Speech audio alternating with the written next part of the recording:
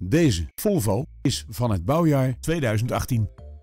Het is een compleet uitgeruste stationwagon die van een krachtige benzinemotor is voorzien. In deze auto vindt u een 4-cilinder benzinemotor en een automatische transmissie. In deze Volvo vinden we onder meer een regensensor en elektrisch inklapbare buitenspiegels. Bij de complete uitrusting horen ook een start-stop systeem en metallic lak. Vanzelfsprekend leveren wij deze auto met BOVAG-garantie. Hebben we u nieuwsgierig gemaakt?